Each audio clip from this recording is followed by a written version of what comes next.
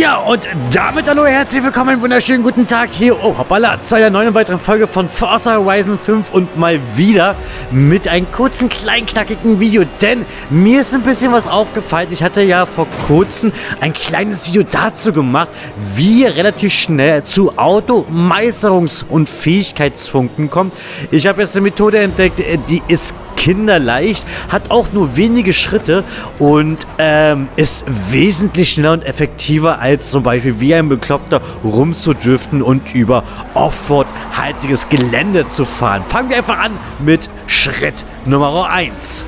Wie immer beginnt Schritt Nummer 1 mit dem allerwichtigsten, euren Lieblingsauto, mit dem ihr am meisten Spaß habt, aber bisschen so in Sternchen und Klammern gehalten, einer eurer schnellsten Boliden. Mitunter Elemento Forza. Den Lamborghini mit 430 km/h Spitze bei mir, den will ich zum Beispiel. Und dann geht ihr wie immer bei Schritt Nummer 2 auf Automeisterung und versucht einfach mal so viele Punkte wie möglich ihr auch habt, alles hier voll zu machen. Ganz wichtig natürlich hier immer extra Leben. Ansonsten ja, Wellenschlagen, all das ganze Repertoire, was ihr mitnehmen könnt, nehmt ihr mit, um zum Beispiel den Multiplikator zu erhöhen oder Stelle auch Fähigkeitspunkte zu erhalten. Nein, diesmal kein Kickflip, sondern ganz einfach. Wir haben ja hier die Autobahn, die ist auch eigentlich relativ schnell ersichtlich. Man sieht es ja hier, die Autobahn relativ dick gehalten. Und auch hier bei meiner Lieblingsstellen, dem Kreisverkehr, dem großen Kreisverkehr in der Nähe von dem kleinen Militärsflughafen. Und diese Strecke fahrt ihr mit dem Wagen, wie gesagt, am besten schon mit einer Automeisterung ausrüsten, einfach hin und her. Klingt ein bisschen langweilig, ist es vielleicht auch, obwohl ich sagen muss, es ist schon interessant, dadurch mit über 400 km/h Slalom zu fahren.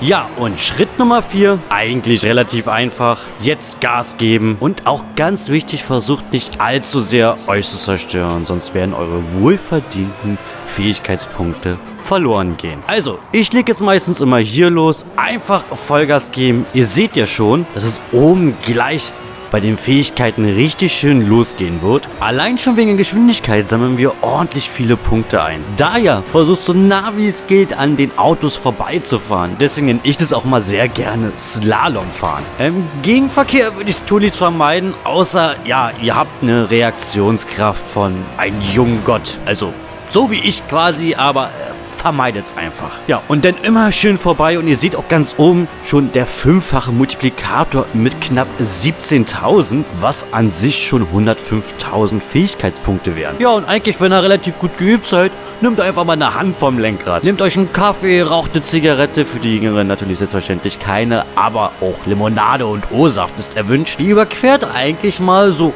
reingeschätzt innerhalb von zwei bis drei Minuten die gesamte Karte von Forza Horizon 5. Wie gesagt, Dose nehmen, einfach hier so ein bisschen durchfahren, Slalom hier und da und wie gesagt, Wagen muss schnell sein und muss natürlich auch ein gutes Handling aufweisen. Achso, und guter Tipp, das Lenkrad niemals loslassen.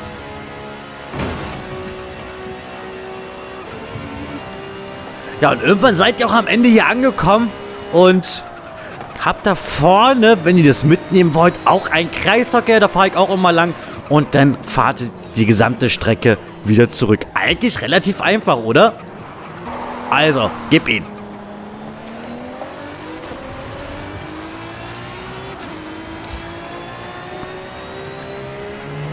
Achso, und mal so ein bisschen Geschwindigkeitsvergleich. Wenn man schon denkt, aus der Koppelperspektive ist das Ganze etwas schnell. Alter, weiter, dann äh, geht man auch gleich auf die Motorhaube zu. So, wir gehen auf 400 km haben wir schon erreicht. Jetzt gehen wir jetzt da vorne, Armaturenbrett. Ja, ihr seht mir, ich finde es genauso schnell, aber jetzt die Motorhaube, da kommt mir mal das blanke Kotzen. Oh.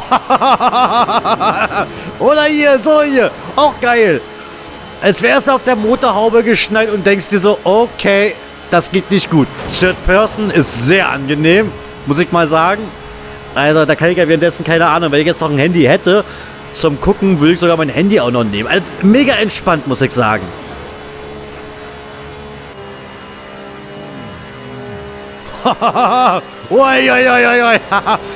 ja, und dann seid ihr eigentlich auch schon hier wieder im Kreisverkehr angekommen. Hier wieder runterbremsen.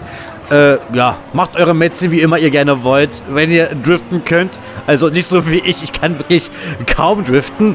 Äh, das bisschen an Querstand reicht mir schon. Und ja, ich habe Allradränge. Für die Leute, die jetzt wieder sagen, es ist kein Drift. Wenn ist das ein Powerslide? Okay, ja. Egal. Äh, ja, und dann fahrt ihr die ganze Strecke wieder zurück. Ähm, ich habe noch ein, zwei kleine Tipps eigentlich für euch. Die kommen wir aber danach. Ich fahre jetzt nochmal eine Runde. Das macht echt wirklich richtig viel Spaß, wa? Und komm, auf die Brücke schaffen wir es. Und Sprung! Wow. Gruselig. Oh, da ist die Brücke. Wow. Wie weit springe ich denn? Also nicht ganz an meinen Rekord dran, aber ich muss dazu sagen, ich habe nicht extra Anlauf genommen. Oh, ich will nochmal. Okay, die Lichtung genau im Blick. Komm, wir geben einfach jetzt hier Gas.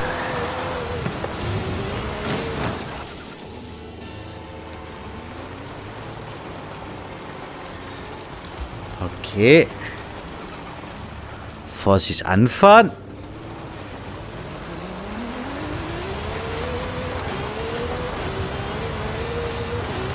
Okay, geschafft.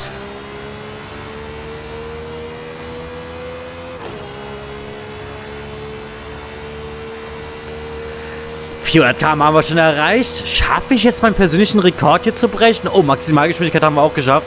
Und los! Oh, das sieht gut aus. Das sieht gut aus. Oh, das wird eng.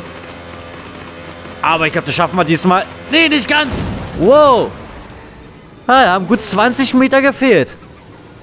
Ja, Freunde, guten Laune.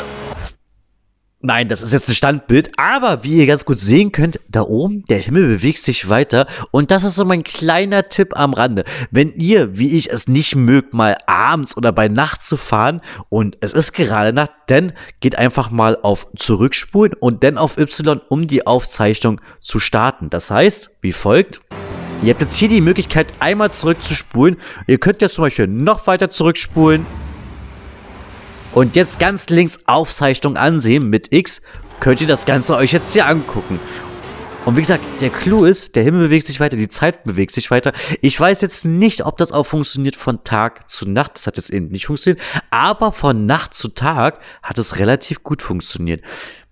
Schreibt mal in die Kommentare, ob es auch bei euch geklappt hat und wo oder bei welchen Bedingungen fahrt ihr am liebsten bei Nacht oder bei Tag oder gar bei Nacht und Regen, ihr Verrückten. In diesem Sinne, macht's gut, bleibt gesund, auf Wiedersehen und tschüss. Das Leben ist so wunderbar, denn ich bin YouTube-Star. Also teilt, liked und schreibt für eine besondere Zeit. Bis bald.